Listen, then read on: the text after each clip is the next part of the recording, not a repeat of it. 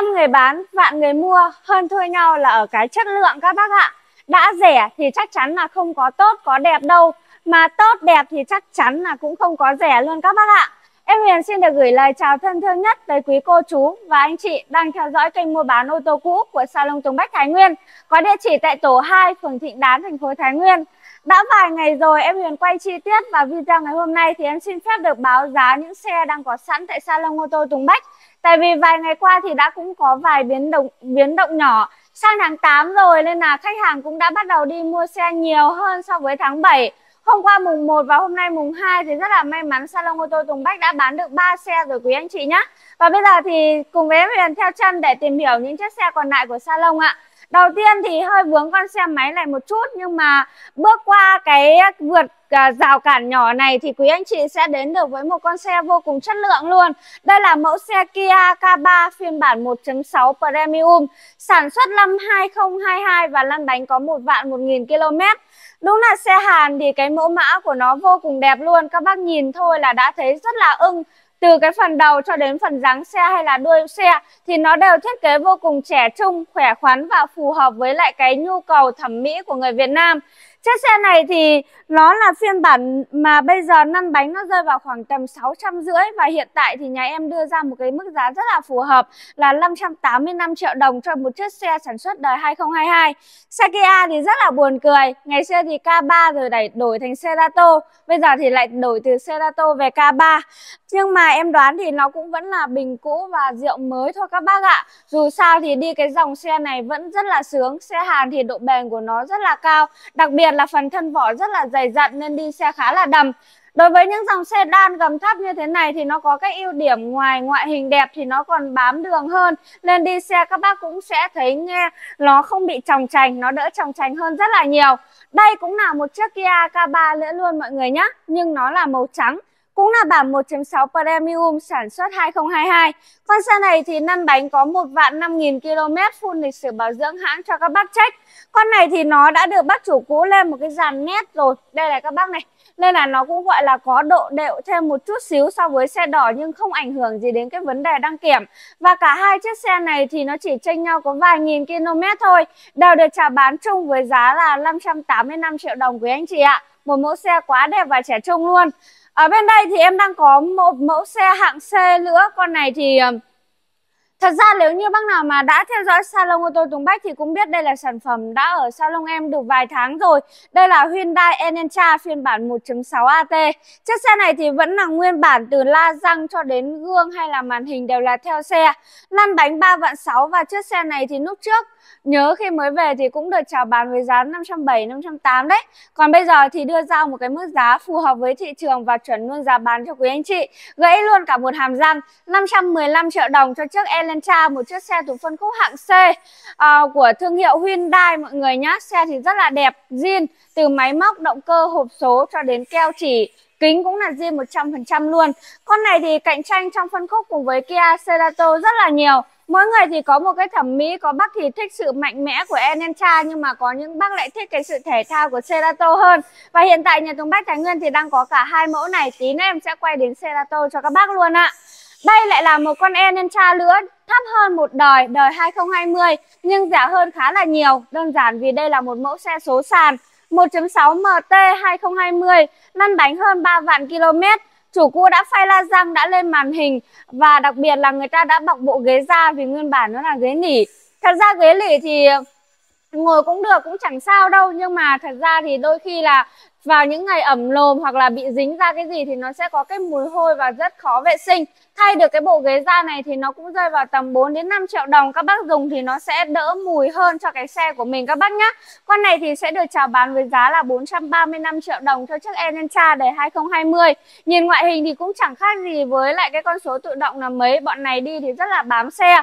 Ở đây thì em đang có một cặp đôi xe Kona gầm cao. Đấy là một chiếc đời 20 màu trắng đây là phiên bản 2.0 tiêu chuẩn Con này thì cạnh tranh với lại Kia Seltos này Với lại uh, Ford EcoSport Loanh quanh những cái dòng đấy Hoặc là MG là những cái chiếc xe mà crossover đô thị Bây giờ thì với những cái giá tầm trung này thì người ta đã thay Hyundai Cola bằng Creta rồi quý anh chị ạ. À, con này thì à, nó là đi có 3 vạn 6 nghìn km thôi và sẽ được chào bán với giá là 510 triệu đồng. Còn bên cạnh đây chiếc này thì là đời 2021, con này đi 1 vạn 3 nghìn km cũng là bản 2.0 tiêu chuẩn và sẽ được chào bán với giá 530 triệu đồng các bác nhé. Và trong này thì các bác sẽ thấy một sự thay đổi nho nhỏ một chút xíu so với mọi hôm. Ở đây Mọi khi là một em MG ZS Luxury 2021 đúng không ạ? Nhưng mà xe đấy thì rất là may mắn đã có một khách hàng từ Hà Nam lên và đã chốt cọc rồi. Em đang thay thế vị trí của em nó là Expander. Đây là phiên bản Premium sản xuất 2021, lăn bánh 1 vạn 9 nghìn km. Xe này thì được trang bị máy 1.5 và sử dụng nhiên liệu xăng. Đây là một mẫu xe 7 chỗ ngồi của nhà Mitsubishi, cực kỳ tiết kiệm nhiên liệu. À, và hiện tại mẫu xe này đang được chào bán chuộc với giá là 540 triệu đồng. À, hiện tại gầm cao mà có 7 chỗ ngồi em đang có Expander này, Outlander này, XL7 này, Toyota Rút và có cả Kia Rondo luôn để cho các bác có thể lựa chọn ạ. À, bên đây là một sản phẩm cũng khá là quen mặt tới quý anh chị luôn. Đây là Ford EcoSport phiên bản Titanium, phiên bản cao cấp nhất. Với cái mẫu mới nhất bây giờ là 2021 thì chiếc xe này đã bỏ cái lốp dự phòng đi rồi.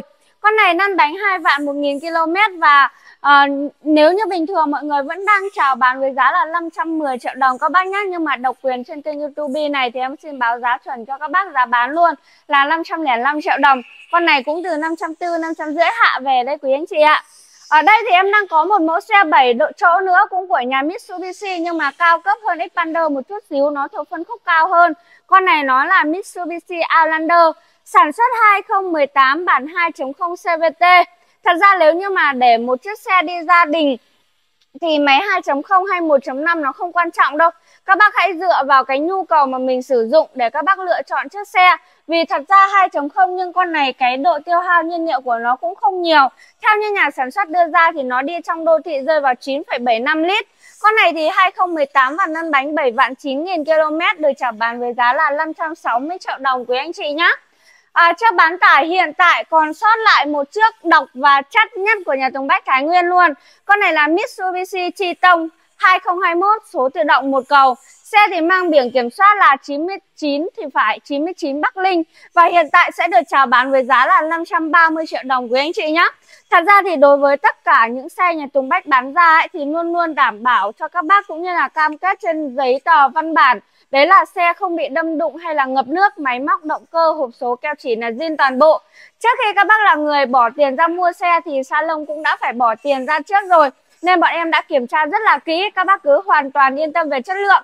Tuy nhiên khi đến với salon em thì nhà em bao check cho các bác thoải mái, tức là có thể đi check hãng hoặc check thợ, check như thế nào cũng được. Nếu sai thì salon sẽ chịu toàn bộ chi phí phát sinh và hoàn lại tiền 100% cho khách hàng nên các bác cũng có thể một phần nào đấy yên tâm tin tưởng lựa chọn Tùng Bách nha vì nhà em vừa làm xe đời cao vừa làm xe đẹp đi ít và đặc biệt là lúc nào cũng là xe không có bị đâm đụng hay tai nạn ngập nước gì cả Tiếp tục với một mẫu xe 7 chỗ nữa, đây là con Toyota Rút sản xuất 2020, đăng ký lần đầu tiên 2021, chiếc xe này cũng trang bị máy 1.5 màu đỏ anh chị ạ. Và xe thì năn bánh 4 vạn km, giá chào bán là 525 triệu đồng cho một sản phẩm 7 chỗ cực kỳ chất lượng đến từ nhà Toyota này. 5 chỗ chuẩn xịn thực sự không phải là cross cover nữa rồi. Nếu như mà đối với những chiếc xe 5 chỗ thì có lẽ kể cả Tucson đi chăng nữa thì có lẽ là CX5 là cái con xe nó rộng rãi nhất rồi quý anh chị nhá. Đây là phiên bản một cầu máy 2.5 đi 7 vạn 4 nghìn km sản xuất 2019 và chiếc xe này thì nó sẽ được chào bán với giá là 660 triệu đồng con này 7 vạn hơn và nó có full lịch sử hãng để cho anh chị check nên là mình cũng có thể yên tâm.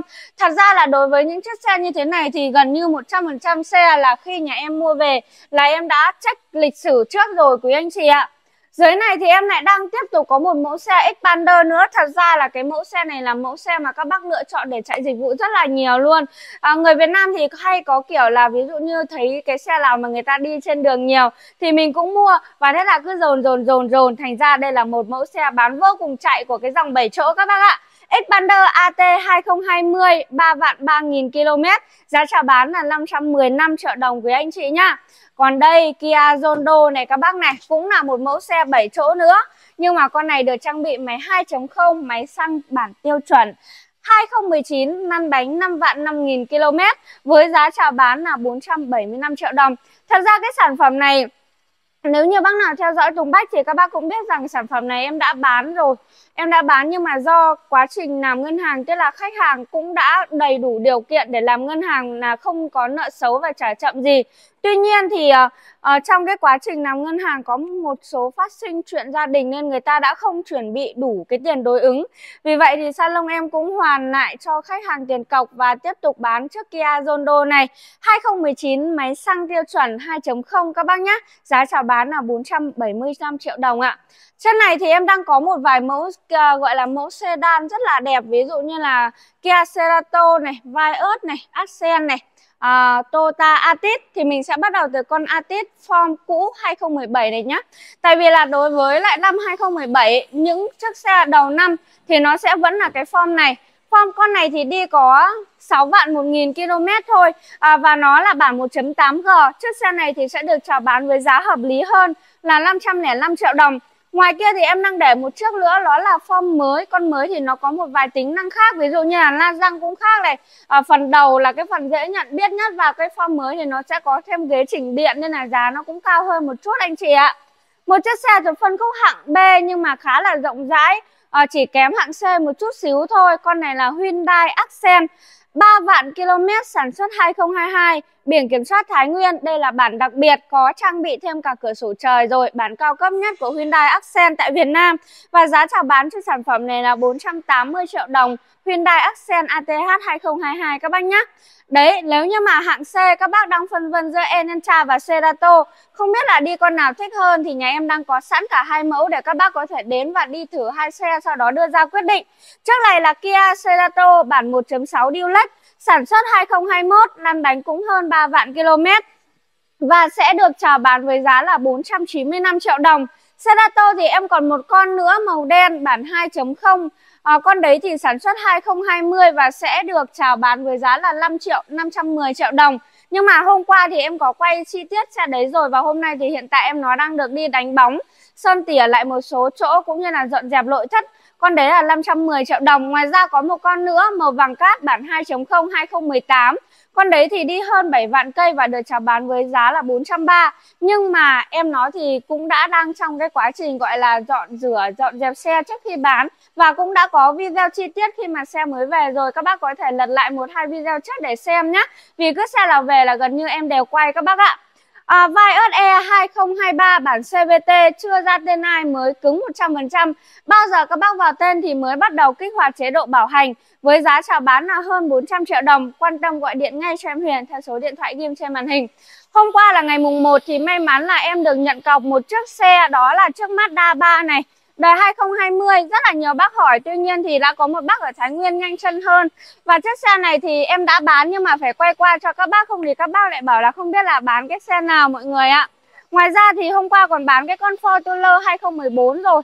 À, Từ hôm qua đến hôm nay là cũng may mắn nhận cọc được 3 xe rồi đấy quý anh chị ạ. Đây bây giờ thì em mời quý anh chị sang phía bên này. Từ đã đi theo chị sang đây để xem cái con ờ, à, Form mới đâu rồi nhỉ? Để quay cho các bác.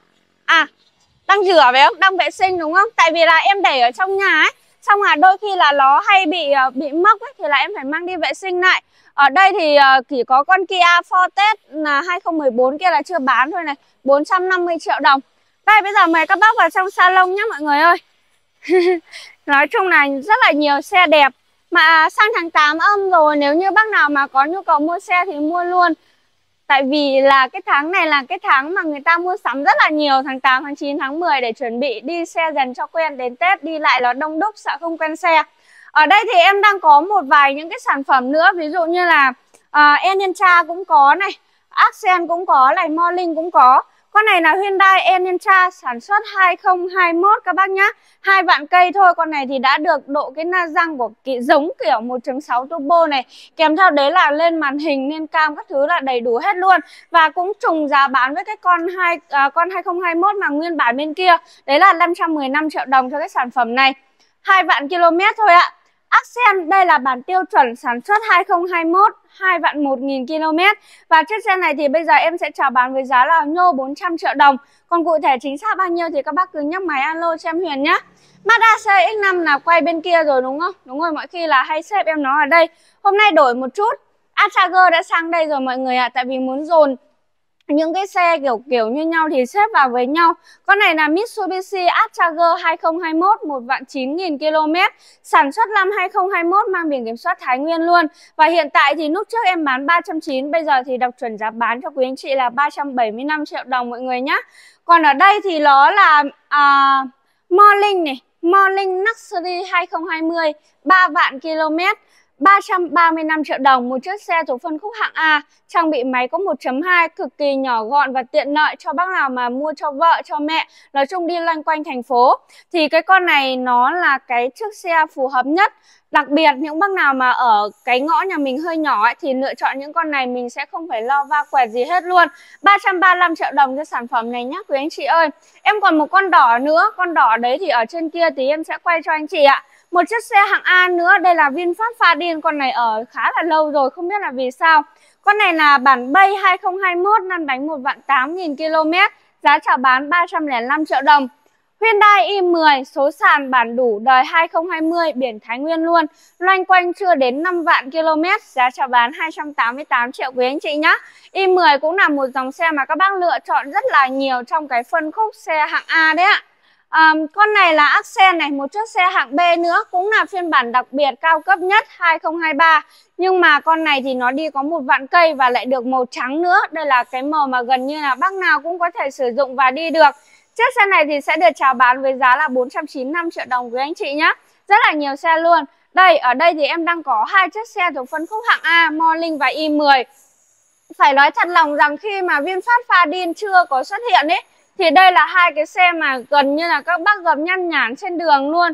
Có những nhà có hai, ba xe thì cũng phải có một con Morning Hoặc nhà nào có một xe thì cũng đã chọn mua Morning hoặc i10 đầu tiên vì thứ nhất là giá thành rẻ, thứ hai là nhỏ gọn dễ di chuyển và đặc biệt luôn là là cái độ tiêu hao nhiên liệu của nó thì phải gọi là quá ít, ăn xăng như ngửi luôn các bác ạ. Con này là i10 đời 2022 Bản hatchback lăn bánh 8.000 km và sẽ được chào bán với giá là nhô 380 triệu đồng một chút xíu Tức là khoảng à, 385 triệu đồng nên em sẽ bán ra đối với cái sản phẩm Hyundai i10 này các bác nhé Còn con này là Morning Luxury 2022 mọi người ạ, năm bánh lanh quanh có một vạn cây thôi Và nó chỉ đắt hơn cái đời 2020 là 20 triệu đồng cái bọn này tính ra như thế là mỗi năm nó chênh nhau có 10 triệu đồng thôi quý anh chị ạ. Quý anh chị ạ, thật sự là cái bọn này cái độ rớt giá của nó rất là thấp và đặc biệt là cái phụ tùng phụ kiện của nó thì vô cùng rẻ luôn. Vừa rồi thì em Huyền có quay qua những cái sản phẩm đang có sẵn của salon ô tô Tùng Bách, hỗ trợ trả góp trên toàn miền Bắc nếu như mà có chiếc xe nào mà anh chị đang nhắm đến nhưng mà em lại lỡ bán rồi, thì anh chị vẫn cứ theo dõi cái kênh YouTube của em nhé tại vì là xe thì nhà em vẫn cứ cập nhật hàng ngày hoặc nếu như mà anh chị đang nhắm cái con nào thì cũng gọi điện cho em Huyền theo số điện thoại ghi trên màn hình luôn ạ. Cần hỗ trợ banh hay là cần ship xe tận nhà thì em đều hỗ trợ được cho mình nha. Xin chào và hẹn gặp lại anh chị cùng các cô chú trong video ngày mai ạ.